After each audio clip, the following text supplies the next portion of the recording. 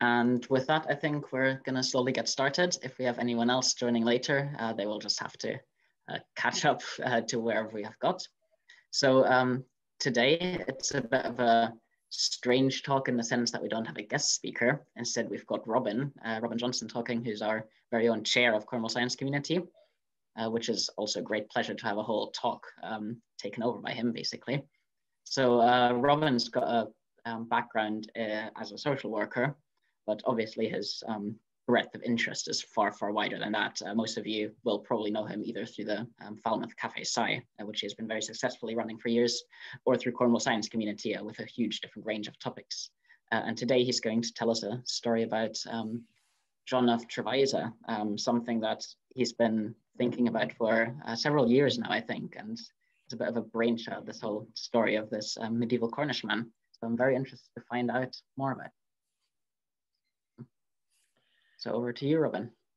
Okay, so at this point, um, can we put me on full screen for a moment, David? There that should be useful. Uh, uh, thank you. Uh, it's just that I wanted to show a couple, two or, two or three books, which have been some of my source material for a lot of what I'm going to be talking about and exploring. Um, a lot of the research, insofar as you can call it that, is obviously done on the internet these days, and there's huge amounts of information, some of it tantalizingly incomplete, but then that's the nature of the historical record. But we have a few books here. Um, a book on John Trevisa by David C. Fowler, who is in effect the expert on the subject. Um, another much more in-depth book by the same David Fowler which has a huge, extraordinary wealth of information teasing out all the implications of various of what is actually known, what can be decently, reasonably inferred, uh, an extraordinary story, an extraordinary piece of scholarship. Um, and there's also this rather remarkable thing, um, Trevisa of Bar Berkeley by Eric Gethin Jones, who was, I think, 20, 30 years or so, um, Trevisa's successor as vicar of the uh, parish of Berkeley or the uh, chaplaincy of, of, of, Berkeley. And it's an imaginative story. He's obviously somebody who was really as captivated as I was by this story to the point where he's written a whole book, which is the, almost like the supposed life of Trevisa. Being a cleric, he understands a lot more about clerical politics than I do. And there's obviously a lot of clerical politics that you need to understand to get some of this story. Fortunately, I'm going to skip over almost all of that. Um, but the, the, point I'm trying to make here is that I'm not even a historian. Um, I was, as David says, a psychiatric social worker.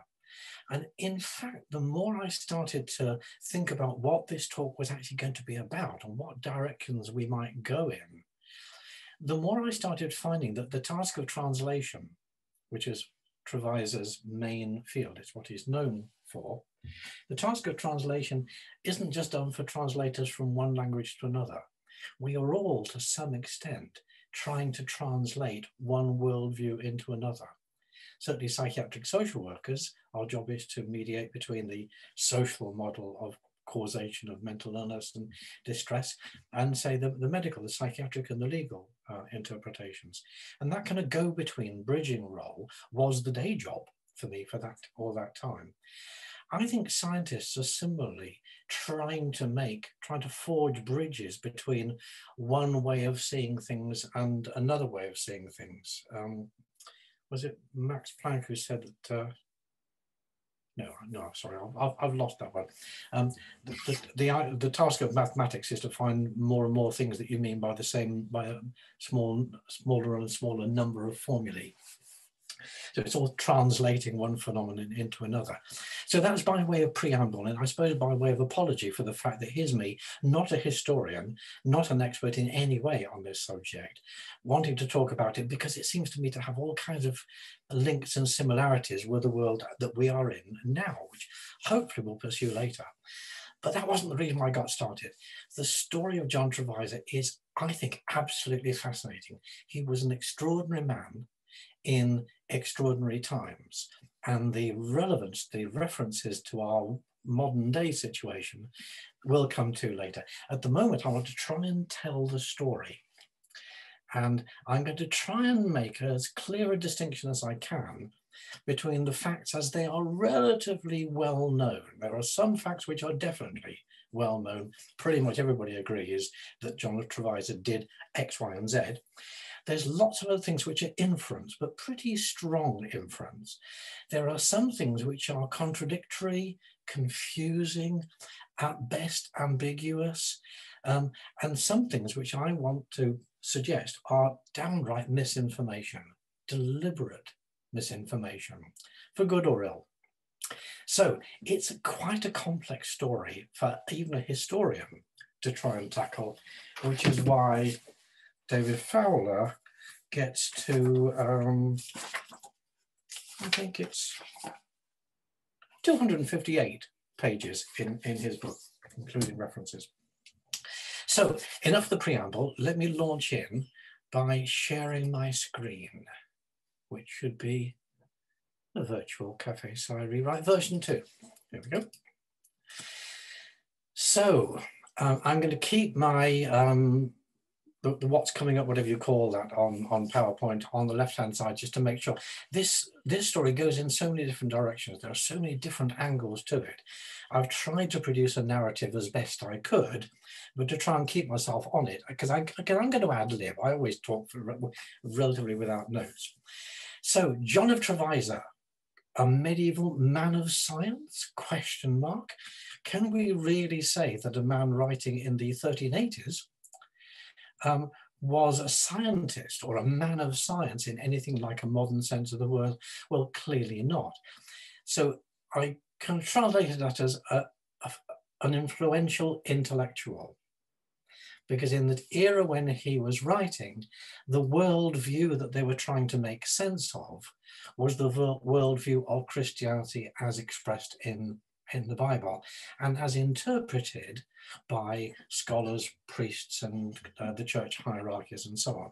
The intellectual climate and the intellectual world, in other words, in which he was living and working, was very different from ours in, in some key respects what is striking is the extent to which medieval scholars were developing the skills of dialogue, the skills of the skills of dispute, the skills of putting forward one point of view and then contrasting it with another, the skills of debate, in other words, which I would argue is actually the foundation of all disciplined thinking and the foundation of the sciences.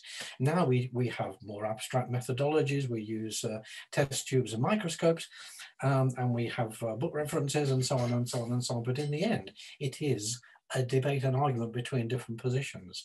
And a lot of that was developed by the scholars in the late medieval, the end, towards the end of the Middle Ages. We tend to think of that as the time when clerics were, were against science, the whole uh, Galileo version of, of how science and the church are actually opposed, not a bit of it. The more we understand about um, what was really happening in the medieval world, the more we see the beginning beginnings, the foundations being developed. So I'm going to be trying to tell the extraordinary life and the extraordinary times of John of Trevisa, possibly, I would argue, Cornwall's most influential, forgotten intellectual. Most influential, I will argue, forgotten. I think we could probably say that not many people have heard of Trevisa, which considering what he did and considering his achievement, I think is quite extraordinary and it's something we need to, uh, we need to change.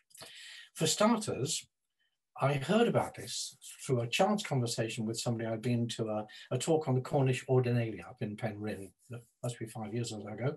Got into a conversation with somebody who told me that this chap, John Trevisa, who they think probably was a classmate, but they don't know for sure, is, I'm going to use my pointer here, the 18th most frequently cited author in the Oxford English Dictionary, and the third most frequently cited source for the first evidence of a word, the first time a word in English was used. And he is number three in the rank for being the first person to use such a word. If you look at the others, Geoffrey Chaucer, Chaucer and Trevisa, in fact, are contemporaries. But Chaucer was large, well, no, I won't overstate this. A lot of what Chaucer was doing was putting in writing in English the vernacular speech of the age. These were the words that were already in existence, and they appear in writing first when he puts them there in English. And the so he, Geoffrey Chaucer is the first, and the proceedings of the philosophical transactions of the Royal Society is the second most. That's not even a person. That is a whole group of people who've published in this August, I presume it's a journal. So in other words, I think that's cheating to say that they have more citations and references than Trevisa. Trevisa and Chaucer, in other words, are two of the foundation writers, creators of the English language. Chaucer is very, very well known. Trevisa is almost completely forgotten. That's interesting. To me, how did that come about? And before we get on to there, my next slide, there are radically differing versions of the significance of Trevisa as a writer, as a translator, even within the um, within those who've heard of him. So the Dictionary of Na National Biography, back in about 1900 or so, says down here, don't try and read the rest of it because that I can come back to that later. Was it, those are notes for me in case I need them. Trevisa was not an original writer, but was a diligent translator of Latin works into English for the benefit of his master, Lord Berkeley. His scholarship is not infrequently at fault, however. Uh, so not, is not infrequently at fault new glasses. However, the value of his writings is not in their matter, not in what he wrote about, but in their interest as early specimens of English prose. What he wrote about, the Dictionary of National Biography says what he actually wrote about isn't very interesting, but he was the first person to write in English, so he's an example of prose. Like, Compare that with the judgment of a chap called Traugott Lawler, who is um, who is still alive, who is a professor of medieval English at Yale, is now emeritus. I'm going to read this out because I want to give it my particular emphasis, although I'm sure you can all read. What ultimately translates, transcends all these comparisons with other writers, including Chaucer in Trevisa, is the scope of the books he translated the task he undertook, the breadth and sophistication of language, linguistic resources that it required are incomparable. He stands apart from his contemporaries because of the magnitude of his accomplishment, and especially because in translating De Proprietatibus Rerum, which we'll come to, he helped to make English a capable instrument for conveying technical information to the educated man. In other words, he was building, developing, creating, crafting English not as a not as a vehicle for uh, poetry and drama and and as Chaucer did, but an instrument for conveying technical information to the educated man. He was the founder, I'm going to argue, of a lot of the scientific vocabulary that later generations built on and built on and built on. And he did so in an English that even for the most technical, medical, botanical, or physical material, that's the stuff he covered, is surprisingly fluent and competent, or by his own criteria, accurate, intelligible, and idiomatic. In other words, his own criteria, according to Lawler, were obviously put in medieval English, accuracy, intelligibility, and the use of idiomatic language.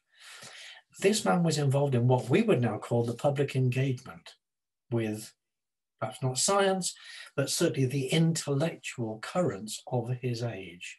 So I think we in the Cornwall science community who are interested in public engagement could fairly plausibly argue that Trevisa was the first Cornishman to begin this process. We'll come back to the he Cornish bit in a second, but just a couple of things. Um, most of you in the science community or the science um, writing and science fiction writing will know of Isaac Asimov and his well-known phrase, the most exciting phrase to hear in science, the one that heralds the most discoveries is not eureka, I've got it, but that's funny.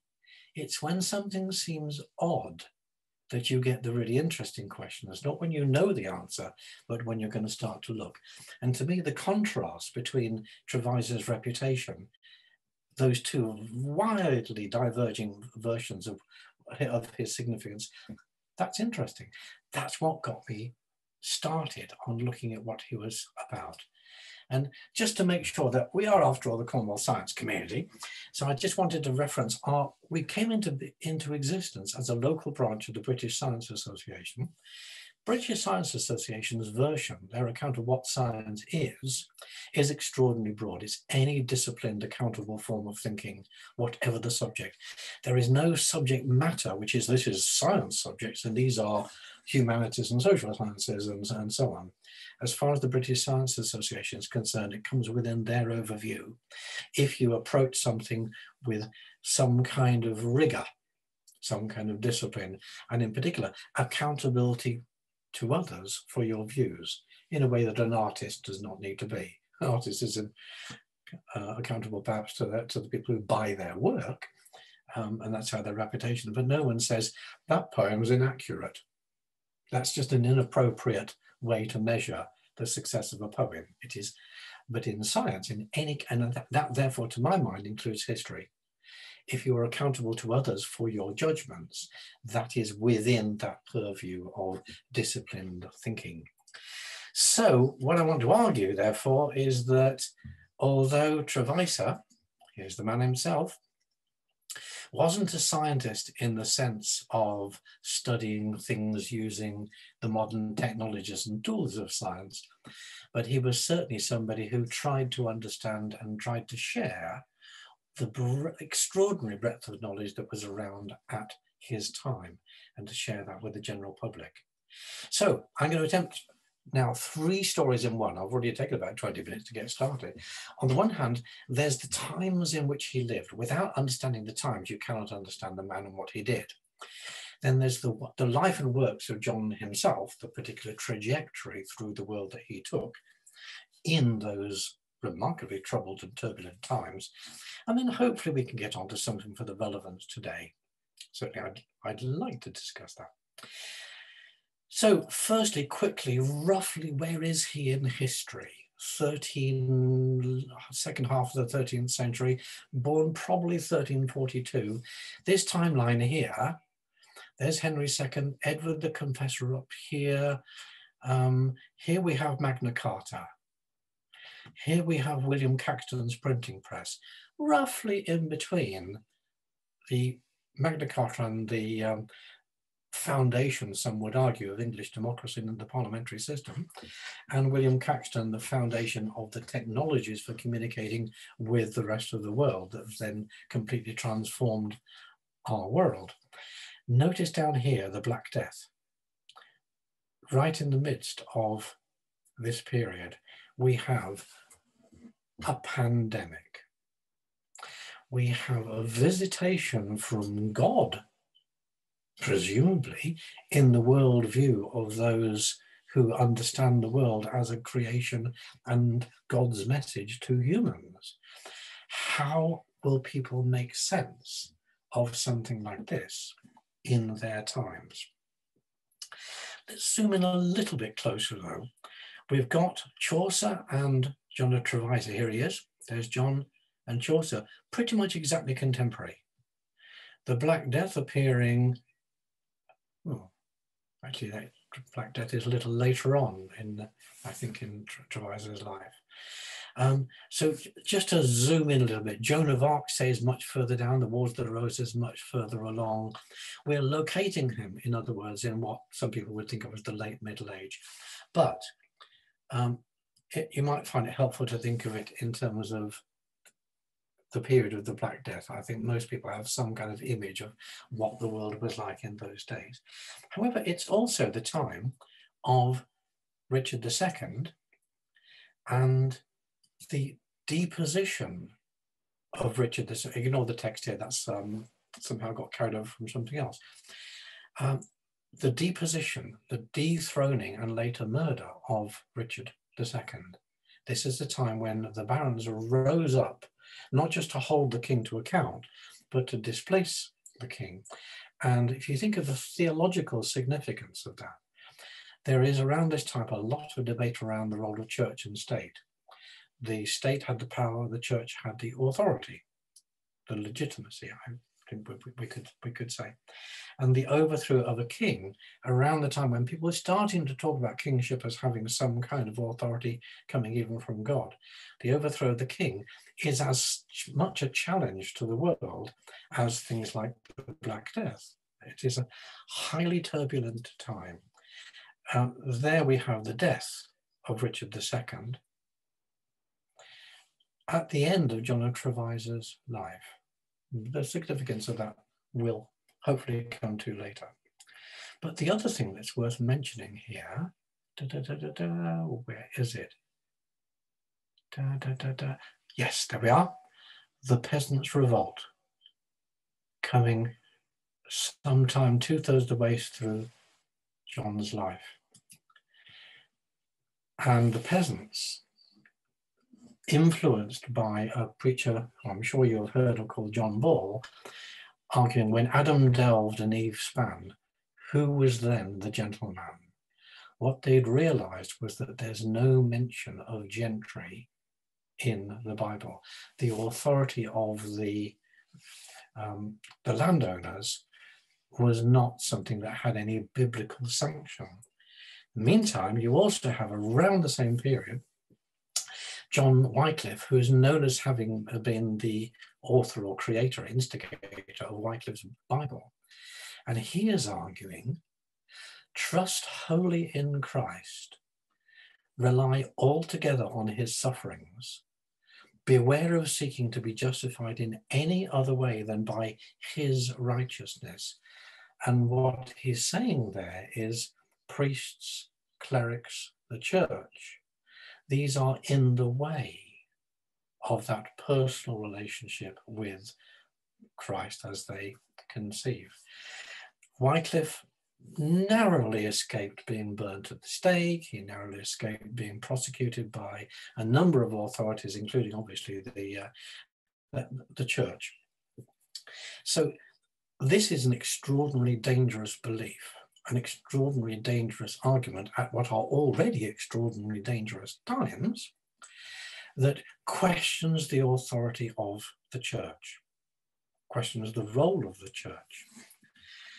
Around this time, so a little later, King James' version of the Bible says, much about that time, talking of the 1380s, even in our King Richard II's days, John Trevisa translated them, the Bible and the scriptures, into English. The King James's Bible, commissioned and directed by the king as the first official Bible in English, as against other versions that were circulating at the time, attributes a version of the Bible to John Trevisa.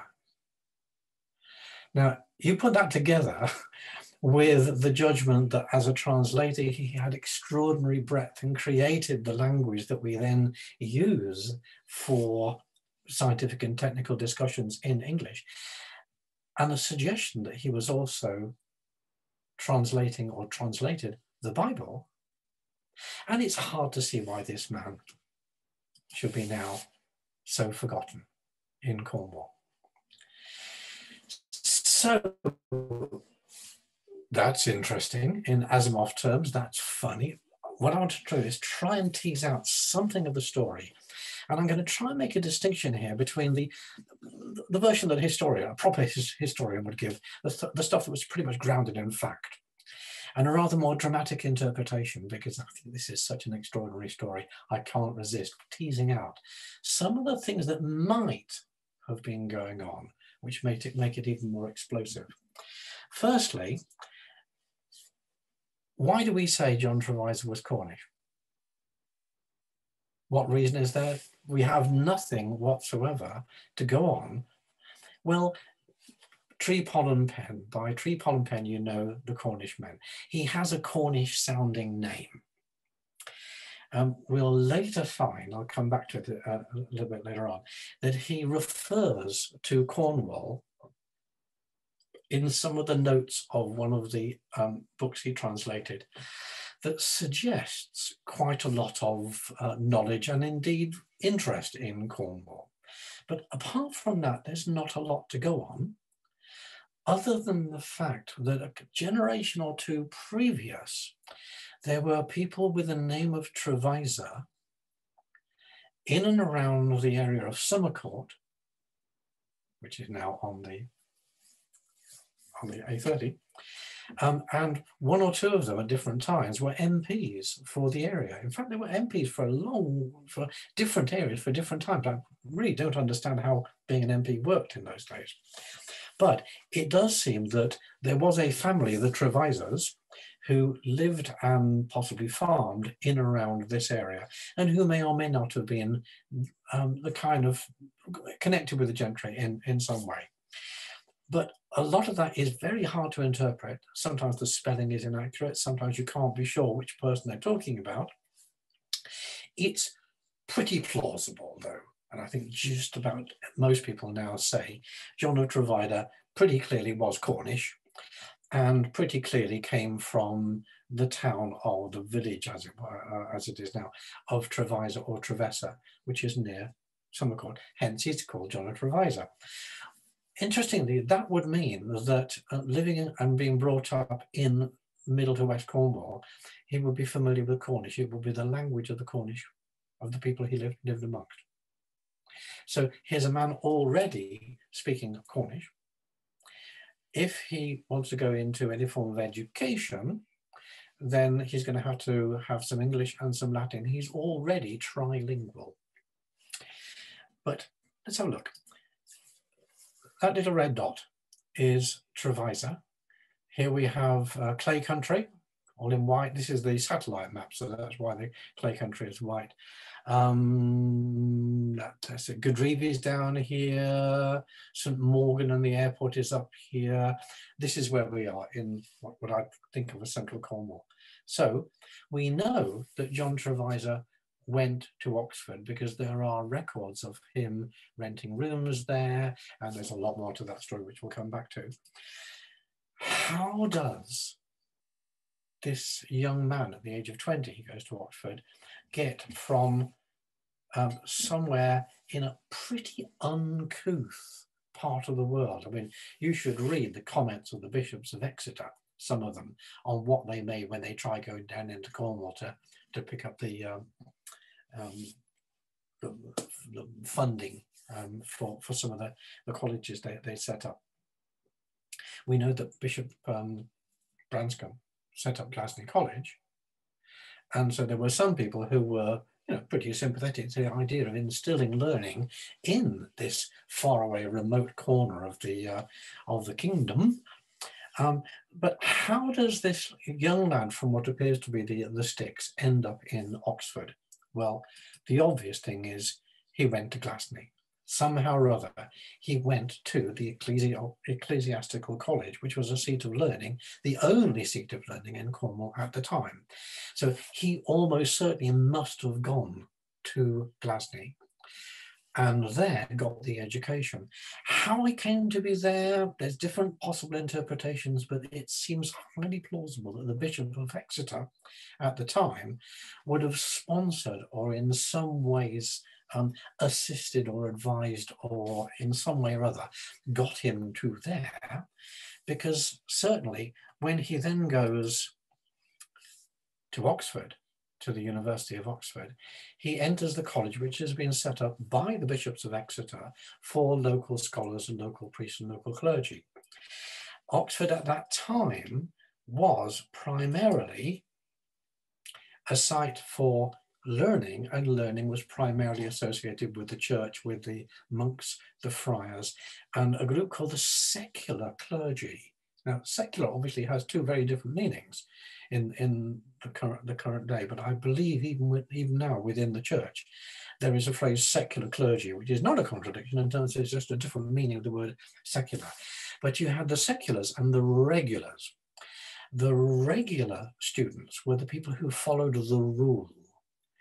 The rule would be the rule of St. Benedict, the rule of St. Augustine. They were the monks and later the friars um, who went to ecclesiastical colleges as part of their education and training.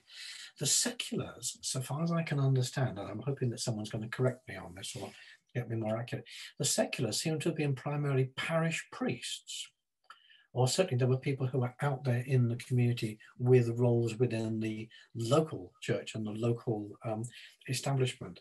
And it seems that between the seculars and the regulars, there were some tensions. There were some frictions, to put it mildly. Quite what they were all about is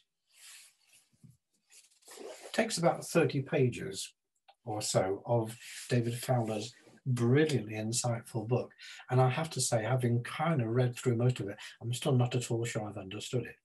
What is clear was that there was some kind of power struggle between the seculars and the regulars as students at the university, each with their own different college. So this is a college to college fight and battle. At some point, possibly due to the decimation of one of the colleges in deaths through the plague, a number of students moved from the college that the Exeter bishop had set up to one of the other colleges. Perhaps they just needed tenure. Perhaps they became fellows. I'm not quite sure why it happened, um, but there were certainly enormous frictions because at one point, John Trevisa and a number of his colleagues who he knew and who he moved with him, I'll read this out for you, together with Whitfield and some others, were expelled from the college in from the college by the Archbishop of York for their unworthiness, for conduct unbecoming a scholar. Get a young lads together, go to university, who knows what that might be? Well, it sounds like they've done something a bit scurrilous. Let's read on. The excluded fellows, I should say, although I'm quoting from the National Biography History uh, Dictionary, which I'm a little bit scathing about their judgment, all the rest of this is pretty much factual from college records uh, and not just college records. The excluded fellows, those who'd been expelled, carried away certain monies, charters, and other property of the college. They were excluded, but they took with them some stuff, money. This, this sounds like extremely irresponsible behavior, does it not? Um, in 1379, the Chancellor was ordered to inquire into the matter, and after some delay, the property was restored. Some delays, putting it mildly, there were petitions to the Crown, Parliament, and the King had to intervene to insist that the group of scholars who had been expelled gave back the stuff that they had taken. The Crown had to intervene. So so far, it sounds like John was a bit of a sort of rebellious, bit of a tearaway, got, gets his comeuppance, and he's, he's sent down effectively. And that seems to be, from the Dictionary of National Biography, that seems to be it, except that he's then picked up and he next appears at Berkeley Castle in Gloucestershire um, as a tearaway and among one, one of a group of thieves. That's a slightly unusual thing to happen, but he wasn't in the prison cells. He's there as the chaplain for Lord Berkeley. So this is quite a promotion, effectively, for a man who's just been expelled from college. Again, that's funny, as Asimov would say. He's there as the personal confessor and one reading is that he'd actually been the tutor for the young Thomas Berkeley, the, the Lord of Berkeley Castle. And at Berkeley's request, he translates a whole series of books. Now, the, the list I have here is pretty much seen as being judged by medievalist historians as, as accurate. Only some of them actually have absolute clear indications that it was Trevisa himself who did the translation. Only two of them actually have dates. You see here the Polychronicon and the proprietatibus. Sometimes it seems to be proprietaribus, but I'm not sure. I'm not sure how that spelling is. Um, there are two books that are dated. All the others, we don't know when he wrote them. They've been put into a sequence here, which suggests a timeline, suggests a development of ideas, whether they are Berkeley's ideas, because Berkeley has commissioned these translations, or whether they are the things that um, that Trevisa himself was interested in, that we have, you could, you could read that either way. So it suggests that, that this is the order in which they may have been written. The Gospel of Nicodemus is one of the parts of the Bible that, that is apocryphal, an alternative version, a part of the New Testament. The dialogue between, the, between a lord and a cleric um, was one of the books. Ah, oh, no, I'm getting my head of myself. Some of the material that that group took from college when they were expelled and were forced to give back wasn't just goods and money and gold and whatever else people might, might think. It was books or scrolls.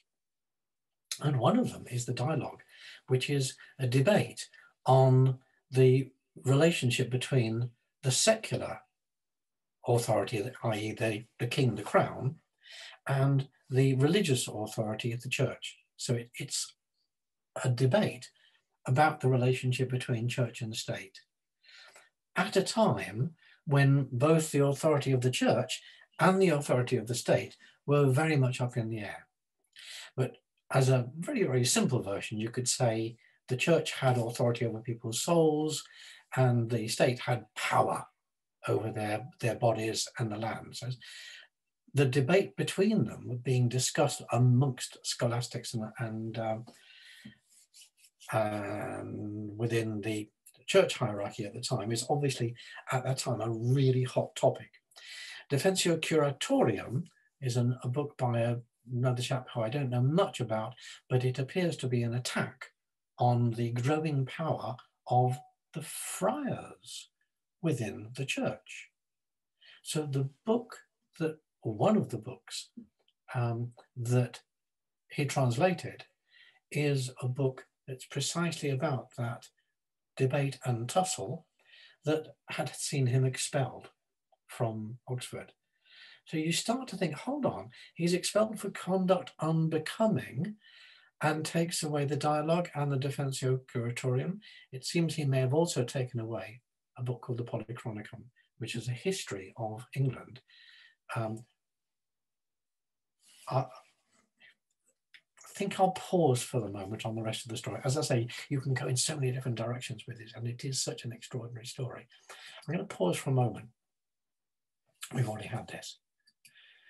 Um, I seem to have got double slides there because the two books I particularly want to focus on that are his translations. One is, as I said, the Polychronicon, the history, and another one, Proprietatibus, the book, the effectively the book on the science subjects. This was a summary of what was known, written by um, Bartel,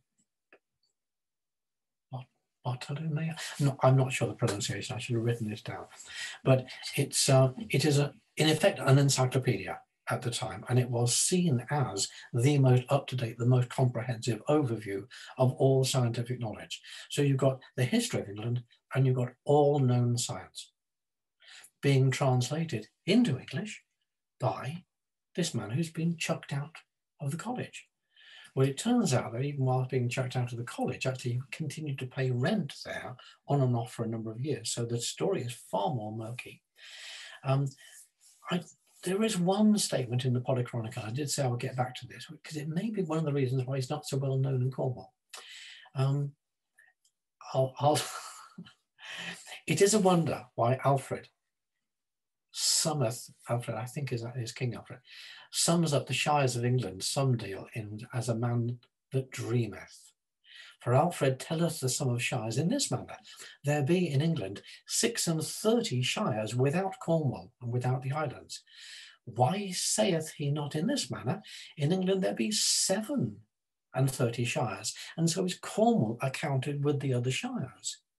And that is skillful, for Cornwall is a shire of England departed in hundreds, i.e. divided into hundreds in the Saxon way, ruled by the law of England and has shire days as other shires do. He comments, in other words, on Cornwall, contesting the idea that Cornwall is a separate part, not part of England. It is the further bit of um, circumstantial evidence that Trevisa's connection with Cornwall was more than just that of a translator coming across a phrase in a book. It does suggest that this man was from Cornwall, concerned to insist that Cornwall, by inference he comes from, is a legitimate part of England. He's got as much right to be there doing things in English as anybody else. I love this last phrase. If Alfred saith nay to that, he wot not what he muffleth. He wot not, he, as in, you know, uh, Trevisa's translations are sometimes quite argumentative, sometimes quite contentious. He's not at all afraid to give his own opinions, and he's quite a, a uh, truculent observer and comments. So this is the Polychronicon as the history. Um, we also have De Proprietatibus Rerum, the which includes me mentions of some of Aristotle's recent writings that have recently been translated into Latin, recently discovered and translated into Latin in this book in, in English. And Trevisa is translating, is making those Latin books, including Aristotle, available to the English. Um, Anglicus, I, that was the name I was struggling to, to get. Um, this is just one of a whole string of comments on uh, the language that Trevisa developed. Um, but it's something, the first occurrences in English of accidentally, alteration, apprehend, apprehension, they're clearly working their way through the alph alphabet, associate, atom, communicable, communicative, complement, convenience, cooperate, dimensions. These are the lang these are the words that Trevisa is introducing into the English language. And as one of the other commentators, I'm not quite sure, I think I decided not to have too many slides. One of the commentators points out that Anglo-Saxon had relatively few abstract words.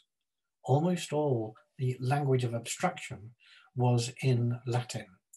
So to translate the Latin into English, he had to create words in English that did not exist before, for concepts, for abstract concepts.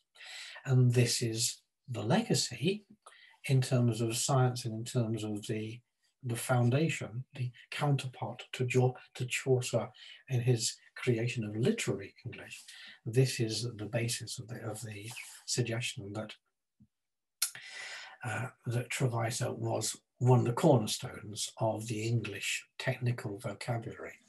But what I'm interested in is not that bit. The bit that I find absolutely fascinating, absolutely extraordinary, and the bit that has me saying this man was at the cusp of the modern age in so many ways, not just in his translations of science, but that book, The Polychronicon, the history, the one original bit of writing that is attributed, well, no, that John Trevisa definitely did produce, the one thing that he wrote himself, rather than translate, translating the works of others and bringing them to the people, although the content of what he wrote is pretty um, inflammatory, granted the times.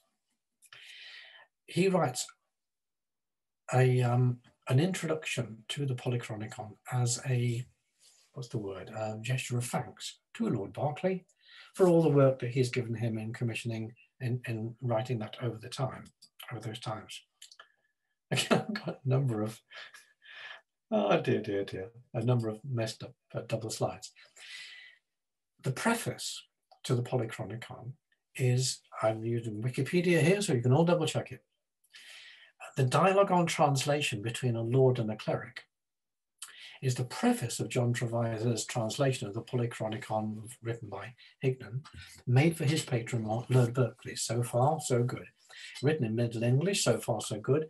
It consists of a series of arguments made by the cleric, who is, represents Trevisa, on why books should not be translated from learned language such as Latin. So he's putting in the mouth of the cleric the arguments for not doing what he spent his life doing he puts in the mouth of the Lord, each one, it says, followed by a rebuttal from the Lord, representing Lord Berkeley.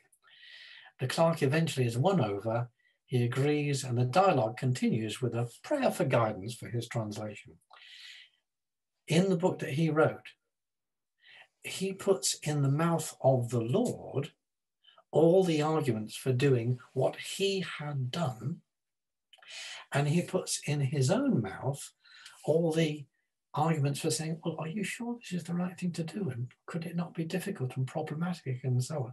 The, uh, the clerk is full of sort of timid and submissive opinions, which would be the opinions of the church. I'm overstating, but because within the church there were clearly many different factions, but certainly there were powerful factions in the church that said you should not translate the Bible into English, although it seems pretty clear that he did. So, another, if you want to look this up, um, the character of the Lord explains that the use of Latin as a universal academic language is one part of the problem of diverse languages. But the other remedy is translation. So Latin is useful insofar as it allows people from different countries to speak to each other. But that's then ex exclusively in a small group of people, basically the clerics. And that denies the understanding of these pieces to the average of the rest of the population. And translation is the way to make this knowledge, this wealth of knowledge and argument and disputation, to make it available. And that is, those words are put in the mouth of the Lord. Now, let's go through briefly. I'll hop over here a bit. Thomas Berkeley, the Lord in question, at his birth, brought together the blood of the baronial families of Berkeley, Despenser, Mortimer, and Clare, four of the principal dynasties central to the struggle a generation earlier between the barons and Edward II.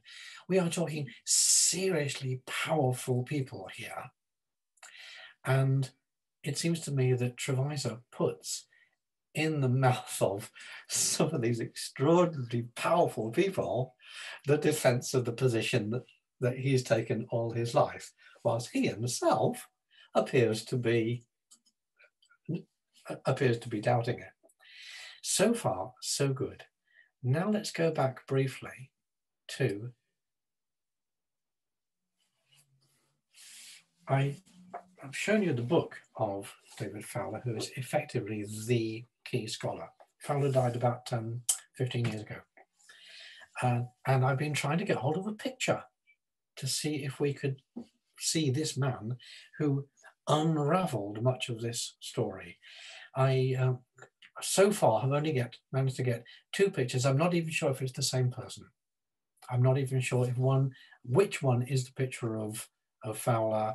Um, I've been to the university, they passed me on to the library, they passed me on to the Seattle Examiner, who had a picture of him based on some time many, many years ago. It's somehow wonderfully appropriate.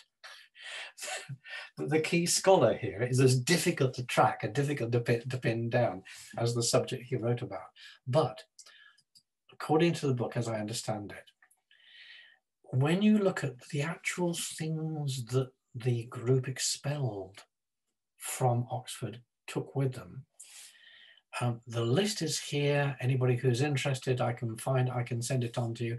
I'm not in any position myself to judge, but Fowler's view was, was that these were exactly the books that you would want to take with you if you were translating the Bible.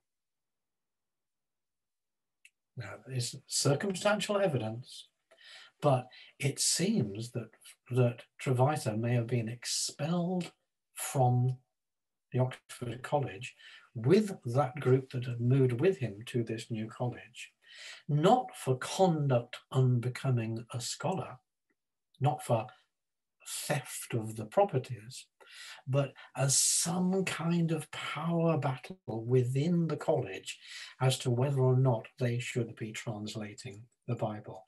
And Wycliffe is one of the people in the, these colleges at the time, not actually in the same college, curiously. In other words, Wycliffe or Wycliffe has a group of people who he has brought together to work on the translation. And that seems to fit with the view that Trevisa was either one of, or it would seem probably the key person translating the Bible into English at a time when that was an extremely dangerous thing to do. So we have a man who has translated the history of England with all kinds of inaccuracies in it. We have a man who has brought the most comprehensive compendium available at the time on botanical, medical, and physical sciences, and the man who seems to have translated the Bible into English at the time when the Peasants' Revolt was talking about the Bible not having any reference to uh, the gentleman. And when Wycliffe was saying, do not rely on priests and scholars, they're not mentioned in the Bible. There is no biblical authority for the church as it existed. This is an extraordinary, radical thing to do, an extraordinary, dangerous thing to do. And the way that Trevisa, towards the end of his life, puts the defense of what he's done, not in his own mouth, not in his own words, but he he puts all the sort of pusillanimous arguments into his own mouth and has one of the most important, one of the most powerful people in the land saying, oh no, it's perfectly right. It's just the right thing to do. Just what, just what we needed. Um, one of the books that, that he translated, um, I'll, I'll, not go back to it because I'm already way, way, way over time, um, is a, a book, I think from Greek, that talks about the difference between a king and a tyrant and the times when it is appropriate to contest and to overthrow a king. This is in the years before Richard II is deposed. This was extraordinarily political, extraordinarily risky, and he manages it in this wonderfully insouciant way of using an academic disputation model to cover his tracks. And that surely is time enough for me to stop and see if I can field any questions. But if, if nothing else, I hope I've got people interested in saying, this man should not be forgotten. This is somebody we should name libraries after. Well, okay. I'm sure there's masses of inaccuracies in what I've said. I've tried my hardest to be to stick to the truth and not let the extraordinary story carry me away. But I'm sure that there are points at which I've over egged the story and gone beyond my brief. But there we go. Time now for me to sit back, take a sip of my non alcoholic beer, and find out what you all make of it. Thank you very, very much, Robin. Um, yeah, that was great. The only uh, way I'd heard of John Trevisa before this was as one of the longest lived men in, of the age, uh, which obviously does not cover anything whatsoever of what you've um, been taking us through. Yeah, really great story. Um, I can see why you, when you initially uh, mentioned this whole idea to me, you said that it could be a great film or something. Um, yeah, I, my feeling, knee yeah. high, miracle, um, you know, golden tree. Where you know you ought to be doing, Colonel King. You know, this would make a great drama.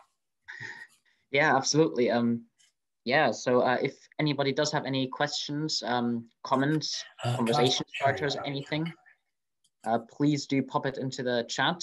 So um, as I said already at the bottom, if you're unfamiliar, you should find the button for chat and the chat window on the right-hand side uh, will pop up. So uh, in the meantime, while everyone's getting geared up a little bit, uh, I just wanted to comment that, uh, especially, I mean, you highlighted it really, Robin, the part with translating the Bible into English I was, yeah, a bit blown away by uh, that fact. I just didn't realize that anyone would have done it at that time, seeing as um, it's such a not done thing, dangerous thing, right? So uh, I thought it wasn't until years and years afterwards that people were even thinking about that. Mm-hmm. And I do love how you uh, pitched Trevisa as one of the um, first science communicators of the age, um, putting the link to uh, organization. Um, while I'm waiting for other people to perhaps get geared up a little bit, I did have one question or um, comment, I guess, seeing if you happen to know anything about it. So um, you mentioned with the various texts that you translated, especially with this um, dictionary of sorts, that um, he was one of the first people to mention a lot of different words in English. So I was wondering if there's any evidence that he actually invented many of these abstract terms, yes. or it's merely the first one to happen to write down. Yeah, uh, my, my, it's only inference, and, and, you would need to be a far better linguistic scholar than, than I am. But as I understand it, Chaucer uses in English a lot of words that were already commonly around, but had never been written down. And Chaucer, in fact, did do a lot of translation himself and did invent quite a lot of words. But no, um, he, Trevisa had to create new words. He had to invent words and make them as idiomatic as possible in order to be, to be understood. But he, he didn't um, just use words that were around, those words did not exist in the English language. That way of thinking, that abstract thought, Latin did that, Anglo-Saxon didn't. That at least is the view of some of the scholars that I've been reading up on. I can't claim to, to say that's my own judgment or my own opinion. I'm not qualified to, to say that, but that is what is said. Um, as it was first introduced to me, a, lovely example was, um, I mean, atom was one of the ones on it, but does the phrase lukewarm make sense when you think about it? Lukewarm. What is lukewarm? Well, apparently Trevisa suggested that lukewarm is the warmth that things get when they've been left out in the sun, luce. So he had a way it seems, yeah. of bringing together bits that people could make sense of, putting them with something else that they also were familiar with to create a kind of uh, new, new, new word. Honestly, this is not my judgment. I'm only passing on what I've heard from others, but it does seem that he was the first to suggest words that didn't exist, whereas Chaucer, many of the words that he wrote down would have been in common parlance. Would, would they wouldn't have made good yeah. otherwise, would they? Great, thank you. Uh, some really interesting discussions in the chat now about um, involving the Cornish language as well, uh, with ah, pointing out that Cornish did act, the Cornish language did have abstract concepts. So uh, maybe I'm wondering if that's why he was more familiar with this sort of abstract thinking than other contemporaries might have been. I, I, I would, I would have to defer to anybody who knows examples of those abstract concepts being used at that time, and I'm not sure who would have written them down. But there is a suggestion, although it is way, way, um, it, it, it's not well confirmed, should we say. There are references to a Cornish Bible. And if there are, if there was a Cornish Bible, then I can't think of any other plausible person who that might have been. But the idea that Trevisa could write a Cornish Bible whilst doing all the other stuff, um, I, I, don't, I can't say. But yes, it may well be that Cornish language had some abstract concepts. A lot of Cornish at times is quite similar to French. And it may be that some of the cultural connections within the Brittonic language group that were kind of knocked aside by the arrival of Anglo-Saxon, uh, I, I, simply, I, I, I do not know. It'd be, it'd be yeah. wonderful to think so. Yeah, absolutely. If, I mean, that would be, a, that's a subject for somebody else's master's or PhD. Yeah, there are suggestions in the chat as well that there can be a lot of um, discussions on this. Um, so uh, another thing Loveday pointed out was about his anti-Cornish sentiments, which um, Michelle had a great comment on as well. So Michelle says um, he's not, anti-Cornish. He's just saying Cornwall's part of England. But I suspect that that's probably one of the reasons, or might be the principal reason, why a lot of people, the, the kind of uh, Cornish nationalists or, or, people who are very proud of Cornish separatism, Cornish, the, um, well, the, the Cornish as a different identity, and and who see English as the oppressors. They that will be the reason why he's not seen as a Cornish hero. Yeah. Yeah, I mean, saying Cornwall is part of England is enough to get you kicked out of some Cornish circles nowadays. Like, yeah, yeah, yeah. I mean, you know, he. This, this, uh, my my feeling is that most heroes are, are, more ambiguous characters, and they've got some great strengths and some great weaknesses. I'm I'm prepared to see that as a uh, a weakness, but he was certainly a stroppy bugger. I mean, yeah. you know, he's he's a he, he's you know he's he's he's uh, quite a cantankerous and rebellious, oh, thoroughly opinionated. Again, a lot of the stuff that he wrote, he wrote in footnotes, and in and in Polychronicon in particular, I believe. Um, but he wrote explanations as to sometimes why a certain translation was not necessarily the, you know, he, he writes about the, the dilemmas of translating in footnotes. Now, footnotes are absolutely, you know, references are part of the, um, the canonical tradition of science and science writing, where you explain your workings. The Bible, on the whole, did not have footnotes, it had all the authoritative definition.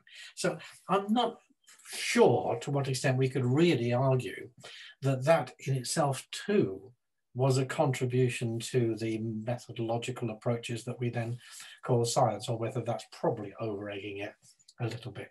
Yeah. Now, there's there's so much around Trevisa that I don't know, and so much that I guess probably nobody knows. But the more you dig into it, the more you look into it. There was a um, a chap over in the University of Lincoln now, about 10 years or so ago, um, studying some annals and some writings in Wales in the archives, came across some stuff that he believed was written in Cornish. But because people didn't know the difference between Cornish and Welsh, presumably middle middle age Cornish would be even higher. Um, it may be that there's quite a lot of material that's that actually is written and it's it's in Cornish, but that, that we don't we haven't realised are part of Cornish history. So there's a yeah. whole lid to be lifted there on on other stuff. I, yeah, I, absolutely. I'm motivated. So there's uh, one more point about the Cornish language in the chat uh, made by Michelle earlier, which I was just going to mention before moving on to another subject. So um, that uh, many in contemporary Cornish speakers, so or studying the Cornish language, might have viewed Trevisa as a traitor for working in English and French and not just Cornish, um, which um, yeah, it's just yeah, yeah, so. Uh, I think that's probably the reason why he's not seen as a hero of why he's not seen as a Cornish hero. Yes, absolutely. Mm -hmm. um, now I'm going to glance over one of the other questions that Loveday pitched just because we had someone else joining the discussion as well. And I thought I'll give, um, mm -hmm. try and give everyone a chance. So Steve asks, to what extent might John of Trevisa have been able to choose the works that he translated? Or was it just a case of him going with the flow and very much being dependent on what gets commissioned? There, there, are two, there are two versions of this. The official version is that Lord Berkeley commissioned Trevisa to do these translations. Um, the equally plausible interpretation, the alternative fact, was that Trevisa suggested to Berkeley the things that would be good to translate. The fact that some of the things he translated were, was material that he seems to have stolen when they left. Oh, by the way, they, they gave all that stuff back after repeated petitioning from the Crown and intervention of the authorities. And they seem to have hung on to it just long enough to do the work of translation. And then they give it all back. Um, again, circumstantial evidence. Um, but, sorry, I've lost the thread slightly now. Well, anyway, I think you've um, answered that main question already. It's the complex story, and I wander off into some of the other other aspects of it very, very. Easily. Yeah, absolutely. Uh, there are still some fascinating discussions about the Cornish language going on in the chat. So if anyone does have a chance, please do read through it, and I will pay more attention to it a bit later on. Um, for now, just to keep the discussion. It would be really, really interesting for, for me to hear how much abstract language there was in the Cornish language at the time because that really would shed a whole new light on Trevisa's capacity to come up with versions in English. Perhaps I could answer that. Yeah. Um, obviously, we don't necessarily have texts from the time, but it's thought that a lot of the um, miracle plays, the Ordinalias, were based on mm-hmm. oral, you know, text, oral um, material that was performed earlier than it was written down, and the writing down of it was, um, you know, codifying something that was already in in the con in common speech. And obviously, within the Ordinalia and the other saints' plays, there is a lot of abstract um, Cornish in that, related to you know religious concepts, but also to other concepts. It was interesting when you were talking about the king and the tyrant. There's that concept is in um, some of the Cornish material. Mm. And, and a lot of the drama behind this is absolutely ordinalia type stuff? Yeah, I, I'd, I'd love to get more people interested in looking at this and, and trying to uh, understand all the different threads and all the different. Um, it's a palimpsest. This, you know, you scrape away a bit, you find something else underneath, and that underneath it. But certainly that idea, for example, I mean, I, I did mean, mention disinformation well, on the one hand, the idea that they're sent down for conduct unworthy of a scholar, that's clearly an attempted character assassination of people who were working on a biblical trans. Well, I, I would say it's clear. Um, but also the disinformation that he himself then puts up with the smokescreen to say that all the arguments for doing what he done are put in the mouth of the of the Lord, like kind of self-protective carapace there. I'd see that as being kind of deliberate um, sleight of hand. Oh, hold on, we have we have somebody who's far more knowledgeable than, than, than me in a position to put me right here. Can, can we invite Michelle to come on and, and Hi, hi, Robin. Brilliant, brilliant talk. Now, I think you're absolutely spot on with that. And I can give you a, a slightly earlier parallel for it too. Um, in the Holkham Bible, um, which I've, I've published and edited, um, there's a similar depiction in which an artist who's working in London is actually allegedly being commissioned by a Dominican to um, do the first uh, graphic novel, if you like, of, of the whole of biblical time and, and history uh, by a Dominican and it's a fiction. Um, uh, no way is a Dominican going to have commissioned the artist to do what the artist then goes and does. It's again part of a radical agenda yeah. of his own of, of tweaking and revising um, biblical history and relating it to his personal experience. And he's a proto Lollard um, which of course the Wycliffites, including Trevi- Trevisa, are, and they're very dangerous radicals. And so, in order to be able to produce this in a book form, the artist actually um, puts a miniature in the front in which he's having a dialogue with a Dominican would-be patron, but no way would a Dominican have, have actually um, sanctioned some of the things that he then goes on to do. So I think that's a very similar thing to your your cleric and it's and, and I, I find this so extraordinarily postmodern yeah. as a way of saying something by saying the opposite or by appearing not to say it or by putting the, the words. Uh, can we just go back briefly to the share screen because there's a one little observation I'd, I'd like to draw out here. Can I? Yeah, okay, okay. Yeah, you should be was, able to. Yeah. The um the final slide this is the frontispiece. This is the image of the priest and the Lord that, uh, that they use. Look at the body language here. Bearing in mind that Trevisa wrote this, I don't know where on earth he got the picture from, but I'm assuming that it's some kind of cartoonized version of them. But the priest is looking kind of timid, slightly shrunken. He's enumerated things uh, points on his fingers, but in a kind of unconfident way. And look at the body language of the Lord. The Lord is the person who clearly knows, who's pointing things out, who's open and expansive in expression. Just visually, the iconography there. I'd, I'd love to know where that picture came from. Did he get it commissioned? How would a guy on a priest's salary get that commissioned when this is a gift to the lord of some of the biggest estates in the country, who certainly had the money to do that. You know, it's all circumstantial. I, I, I, think Michelle's geared up to picture him, so please yeah, do feel yeah, free. Michelle, in case any of you are wondering why I might know, for about 30 years I was the curator of, of medieval manuscripts at the BL, so this is kind of my, my bag. Yes. Um, it's a standard for, at one level, it's the standard form of, of um, dedication miniature, but it is adapted. And I think you might find that the it's not just enumeration, there's an element of um, uh, finger enumeration is also a form of um, monastic sign language. So there might be actually something being coded in there as well. And when you were making your distinction also, Robin, about um, secular clerics and um, hmm. regular uh, um, ordained clerics.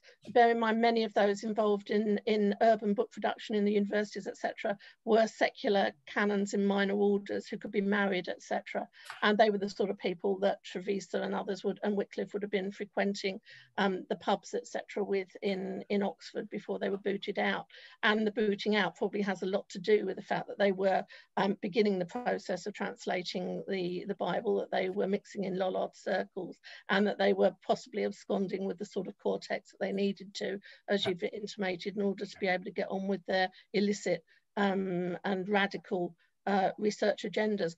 And yes. it's interesting that the early Lollard books of Trevisa's period aren't all the sort of things that that people would um, secrete and, and would, would study um, quietly or that um, people who are purely vernacular speakers would have had access to because they cite people like Thomas of Woodstock, who's um, from the king's own family, who is one of their leading patrons. So having a patron like Berkeley actually fronting you at a time before it's been publicly con condemned and, and Wycliffe is, is, is denounced as a heretic, um, that it, it's all to play for. There are many of the great and the good who, who, who want to go down this route. And the role of Berkeley, who seems to be using Trevisa in this agenda of democratizing access to scripture, primarily in English, but also in, in Cornish, and whether that's Berkeley. I mean, he's an admiral, he would have had an awful lot of Cornish men in his fleet, for heaven's sake. Um, uh, you know, we don't know, but it, they seem to be interested in in English and probably Cornish, whereas the things that are just for, for Berkeley himself for public display are in um, Anglo-Norman Court French. So there's an interesting sort of agenda there. And mm -hmm. Berkeley is one of a number of powerful figures who are being used as a front for the, um, the subversion of, of, of Wycliffe, uh, Trevisa and the Lollard movement. Great, thanks for pitching in again, Michelle, and giving us a, yeah, a more yeah, complete yeah. picture too. Yeah, uh, we. I, I, I, was going to say at the start of our talk, that this is one of the few Café Sci talks with a fact checker. because so, Michelle is infinitely more knowledgeable than, than me about all this. Um, so we probably don't have too too much time left, but before we wrap up there, have a, another couple of questions have just come in as well. So Steve asks again, um, this is a completely different area again now, um, just to get some diversity in again too. Um, do we have any idea how long or uh, what John studied while in Glasney, or who might have sponsored that? We have, we have no information whatsoever. There's no record. There's there's it's only an inference. Granted that the Bishop of Exeter set up a college, the bishops had. Um, now, let, let, me get this right. Michelle, please correct me on this if, if I'm right. But Glasney was supported by funds from a number of different parishes in the area. And so the parishes would send money to support one or two of the people at Glasney College for the education of the, the next generation. And they all came under the See of Exeter. Berkeley also owned land in that area. So, but either Berkeley or the bishop could have spotted this promising young lad. The most plausible thing is that you take him, you get him to Glasney where he learns, and then when he's old enough to go up to Oxford, he's there. Whether he's there under the patronage of Exeter or whether Berkeley is already involved is not clear. But Thomas Berkeley's father dies when he's quite young. He's about 10, 11 or, or so. And Trevisa is only about eight or 10 years older at that point. So one possibility is that um, that Trevisa was almost sort of father figure, not just father confessor in religious terms, but actually a young, bright young man that Berkeley could look up to, could uh, could relate to. So the relationship between Berkeley and Trevisa could be quite personal, quite complicated as a, at an emotional level. I did read somewhere, but I've never managed to track it down, that um, that, that was tutor to young Thomas. Mm. In which case, the question of who commissioned who mm. has more and more layers. It's a palimpsest. It really is an extraordinary story. It wants a much better script writer than I've been able to. it's always more behind the scenes than it seems. Mm-hmm, yeah. Yeah, um, I, I, imagine Man for All Seasons or a kind of uh, Hilary Mantel type writer coming in and doing something wonderful with this story. Oh, hold on, we've got Michelle there. Yep, Michelle, please. As, as far as we can reconstruct the Glasney agenda um, it, as it develops, not how it was when it, when Branscombe founded it, of course, which is partly his problems with the Earls of Cornwall at that time. But the late medieval, medieval agenda of um, Glasney seems to have unpacked as um, part of it was, was taking boys from a range of backgrounds in Cornwall and educating them at Glasney and using it as a feeder into Exeter mm. College in Oxford to train um, train Cornish boys for the professions, for the priesthood, for the legal and medical professions, mm. etc. So um, it's likely that Trevisa was part of that intake. And as Robin says, you know, as, as the confessor and possibly even earlier the tutor of, of Berkeley, and bear in mind, we've got the whole sort of um, the Lancastrian Yorkist stuff is really beginning to kick off at this time. You needed a confessor that you could trust. You wanted your own person in house, um, so you didn't have to confess to a parish priest or anybody that would actually um, snitch on you in terms of your political leanings mm. in, in either the Yorkist or the Lancastrian um, camps and, and your Lollard sympathies. so that's going to be an incredible personal and highly charged um, relationship, and which the two of them work uh, together. And the Luttrell Psalter from a little bit earlier, it's the confessor who actually illustrates the book showing the coded agenda of, of the Luttrell family at the time when they're on the wire and trying to promote the rise of the Lancastrian dynasty. And the iconographies and the use of language is very much um, connected to that. So there's a lot of, of precedent in which you can you can situate the experience of the Trevisa Berkeley relationship. Thank you. Yeah, I'm guessing this also addresses the Exeter political agenda, which I love they mentioned in the chat. Yeah. So, um, yeah. Well, it, it, was slightly more about um, the fact that the Exeter bishops were very much embedded with church and state, and from what um, what was being said, Trevisa came away from the church and state to the people, if you like. So, did that mean that he was disowned by Exeter? And what impact, if any, did that have on Glasney? I mean, obviously, later on, much later on, when Glasney was dissolved, they were seen as being anti um, church and state and not proper clerics and all that yeah. sort of thing. Yeah. Yeah. yeah. yeah. That's because they carry on doing it, of course. You look at the whole agendas of Bewnans Ke and, and Bewnans Meriasek, they're still doing it. They're still using language and culture and popularist movements within that to destabilize the um, the church-state relationship. So yeah, Glasney keep at it right up to the end. Yeah, well, the Cornish have always been rebellious buggers, really, yeah. haven't they? Still are. uh, and to my mind, that's that's Trevisa. I mean, he's as yeah. rebellious, he's as bolshy, he's opinionated, he's a proper yeah. Cornish. Yeah.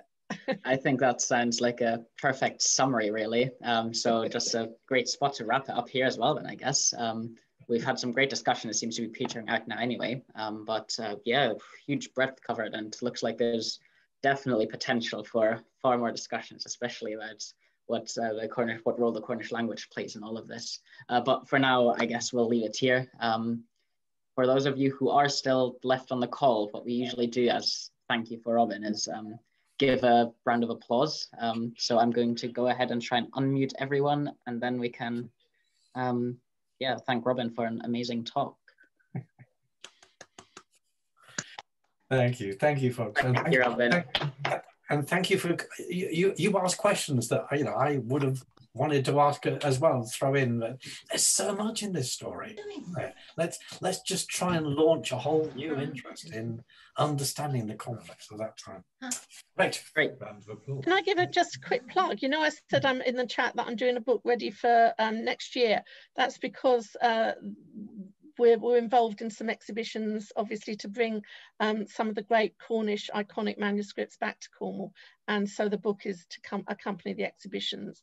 And so it, it looks at the relationship of different languages, as well as word and image, um, faith, art and science uh, throughout the, the, the manuscript trail that we have for Cornwall before the Reformation. So there's going to be a, a lot, hopefully, of, of chances for us to, to continue this sort of debate um, in the course of the next coming year.